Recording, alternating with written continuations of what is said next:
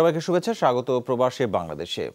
প্রবাসীদের খবরাখবর নিয়ে আজকের আয়োজনের সঙ্গে থাকছে শামসুজ্জোহা মার্কাজে আহলে সুন্নাত এবং আহলে সুন্নাত ওয়াল জামাতের উদ্যোগে আলোচনা সভা হয়েছে সংযুক্ত আরব আমিরাতে। এতে সভাপতিত্ব করেন সংগঠনের সভাপতি তৈয়ব খান, প্রধান অতিথি হিসেবে উপস্থিত ছিলেন মৌলানা রফিকুল ইসলাম নয়মী এ সময় বক্তব্য রাখেন সৈয়দ লুৎফর রহমান, মোহাম্মদ শাহজাহান সহ প্রবাসী কমিউনিটি নেতারা। বক্তারা বলেন, রাসুল সাল্লাহ সাল্লামের দেখানো পথ থেকে সরে এসেছে মুসলমানরা। এ কারণেই সারা বিশ্বে তারা নির্যাতনের শিকার হচ্ছে। প্রকৃত ইসলামের শিক্ষা কখনো জঙ্গিবাদ সৃষ্টি করে না বলেও জানান তারা। ঢাকা বিশ্ববিদ্যালয়ে অ্যালামনা অ্যাসোসিয়েশনের রিয়াদ চ্যাপ্টারের অভিষেক অনুষ্ঠিত হয়েছে। মোহাম্মদ আলী নূরকে সভাপতি এবং শাহজাহান চঞ্চলকে সাধারণ সম্পাদকের একুশ সদস্যের পূর্ণাঙ্গ কমিটি গঠন করা হয়। এতে সভাপতিত্ব করেন সংগঠনের সহ সভাপতি রেজাউল করিম মিলন। অনুষ্ঠানে প্রধান অতিথি ছিলেন সৌদি আরবে নিযুক্ত বাংলাদেশের রাষ্ট্রদূত গোলাম মাসি। সংগঠনের প্রতিষ্ঠাতা আহ্বায়ক এবং দূতাবাসের মিশন উপপ্রধান ডক্টর মোহাম্মদ নজরুল ইসলাম বাহরাইনের রাষ্ট্রদূত নিযুক্ত হয়। সংগঠনের পক্ষ থেকে তাকে সংবর্ধনা দেওয়া হয়।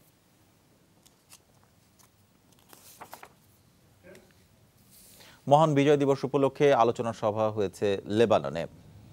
সুয়াইফাত শাখা বিএনপির উদ্যোগে এই আয়োজন করা হয়। অনুষ্ঠানের সঞ্চালনা করেন সংগঠনের সভাপতি এস কে শেরফিন। প্রধান অতিথি ছিলেন বিএনপি লেবানন শাখার ভারপ্রাপ্ত সভাপতি মনির হোসেন। অনুষ্ঠানে মহান মুক্তিযুদ্ধের ইতিহাস প্রবাসে ছড়িয়ে দেওয়ার আহ্বান জানান বক্তারা। অনুষ্ঠানে সুয়াইফাত শাখা বিএনপির বাইশ সদস্য বিশিষ্ট কমিটি ঘোষণা করা হয়।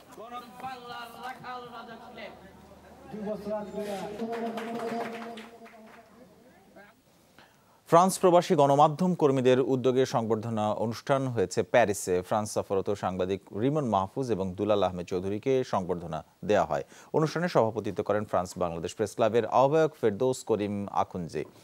এ সময় প্রধান অতিথির বক্তব্য রাখেন রিমন মাহফুজ, বিশেষ অতিথির বক্তব্য রাখেন দুলাল আহমেদ চৌধুরী। বিদেশে বাংলাদেশকে ইতিবাচকভাবে তুলে ধরতে প্রবাসী গণমাধ্যম কর্মীদের প্রতি আহ্বান জানান বক্তারা।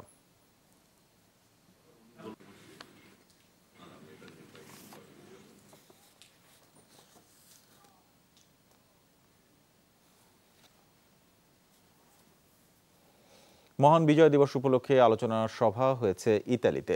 বিএনপি মিলান শাখার উদ্যোগে এই আয়োজন করা হয়। এতে সভাপতিত্ব করেন মিলান বিএনপির ভারপ্রাপ্ত সভাপতি আবদুল্লাহ আল মামুন।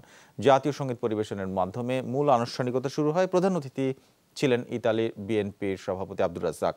আলোচনা পরবর্তী কর্মী সভায় বক্তব্য রাখেন ইতালি বিএনপির নেতারা। মালয়েশিয়ার বাংলাদেশ হাই কমিশনে আন্তর্জাতিক অভিবাসী দিবস দু হাজার উনিশ পালিত হয়েছে। অনুষ্ঠানে সভাপতিত্ব করেন হাই কমিশনার মোহাম্মদ শহীদুল ইসলাম। অনুষ্ঠানে রাষ্ট্রপতি, প্রধানমন্ত্রী এবং পররাষ্ট্রমন্ত্রী বাণী পাঠ করা হয়। বক্তব্যে হাই কমিশনার বলেন, প্রবাসীদের সব ধরনের সংকটের সমাধানের সচেষ্ট হাই কমিশন সরকার প্রবাসীদের জন্য আলাদা সার্ভিস ভবনের ব্যবস্থা করেছে। এ ছিল আজকের প্রবাসী বাংলাদেশে। এতক্ষণ আমাদের সঙ্গে থাকার জন্য আপনাদের সবাইকে ধন্যবাদ।